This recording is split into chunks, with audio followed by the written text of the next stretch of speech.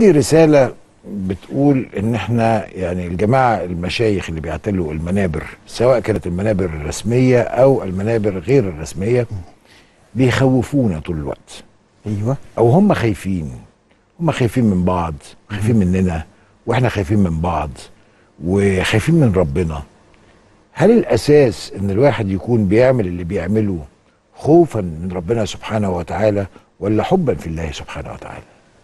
الحق سبحانه وتعالى آه، أورد في كتابه العزيز آيات فيها ترهيب تخويف وأورد أيضا آيات أخرى فيها ترغيب وتطميع في الفضل وأورد آيات فيها تشويق بمعنى الحب الأرقى بدون شك في الصلة بين العبد وبين ربه الحب.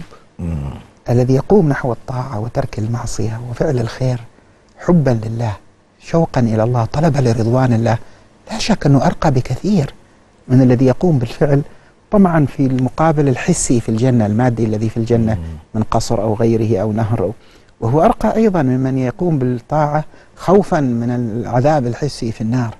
لهذا قال بعض الصالحين يعني لو أن النار كانت دارا لرضوان الله لسألت الله أن يدخلنيها كما تسألون الله أن يدخلكم الجنة.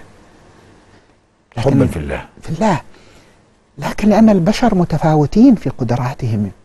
الناس ليسوا سواء. من الناس من تردعه من تحركه وتدفعه إلى التفاعل المعاني الراقية الحب الشوق طلب الرضا. ومن الناس من تكون أحيانا ظروفه أقوى من دافع أن تستجيب لهذه المعاني. فيحتاج إلى تحفيز آخر بنعيم حسي. آه أنت ممكن تقع لكن يعني عايز أقول يعني أنا متذكر كده وأنا طفل. وكان عمري عشر سنين. وكنت في المسجد وقت صلاة العصر اللي هي عدد اللي بيروحوها قليل. ومنتظر الإقامة. ووزعوا علينا ورقة. يعني طالما أنا كان عندي عشر سنين ده يعني من زمان قوي يعني. ورقة عن عقوبة تارك الصلاة. فبأي منطق بتوزع عقوبة تارك الصلاة على حد قاعد جوه المسجد؟ مبدئيا يعني يعني هو جوه المسجد وقت صلاة العصر بتع... بتع... بتعمل ده. وعشر سنوات دون البلوغ لا تجب عليه أصلا الصلاة. و...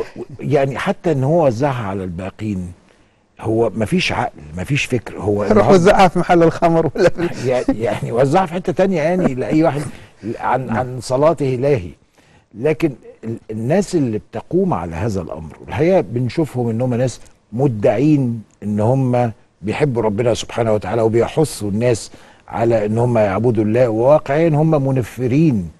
لل... للناس. نعم. كنت أود أن أقول أن هذه الثلاثة موجودة في في القرآن. الترهيب والترغيب والتشويق. لماذا وجدت أصلا؟ ما كان يكفي التشويق للحب الذي خلق النفس البشرية سبحانه وتعالى يعلم أن الإنسان أحيانا يحتاج إلى تخويف. وانتبه إلى كلمة أحيانا. أحيانا. يعني أنت مريض السكر لما تشوفه ما هو مبالي يأكل حلويات كنافة على مش عارف إيش على والدكتور مرة مرتين يقول له أنت عشان صحتك تكون كويسة وتقدر تستمر لابد تعرف أن الس- السكر هذا يعني رفيق دائم يبد أن تحاسنه. مرة مرتين آخر شيء طبيب يقول يقول شوف أنا مش مسؤول. أنت ممكن تفقد بصرك تصاب بالعمى ممكن يصبح عندك فشل كلوي ممكن ممكن ممكن. هذا مش تخويف تهديد. بأنك لو عملت كذا سيصيبك كذا.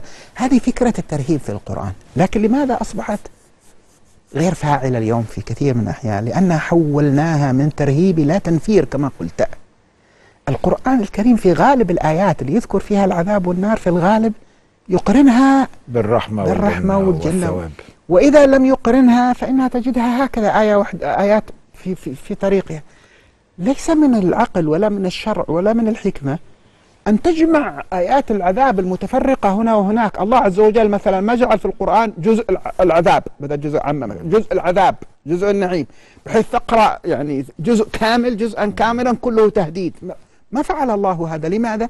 لأن المقصود من التخويف من العذاب هو رحمة أن تردع تردع يعينك على ردع نفسك فإذا تحول إلى تكثيف تكثيف تكثيف فقد أثر الترهيب عن النفوس وتحول إلى التنفير من الطاعة يعني اسمح لي أضيف لكلام حضرتك عامل زي الأب اللي بيقول لابنه. كل شوية هضربك بالضبط. هضربك هضربك فمن كتر ما قال له هضربك طب خلاص. يعني اضرب. يعني الإحساس ب تماما. بدا إن هو ما بقاش شيء يقال ليه فيرتعد ليه تماما.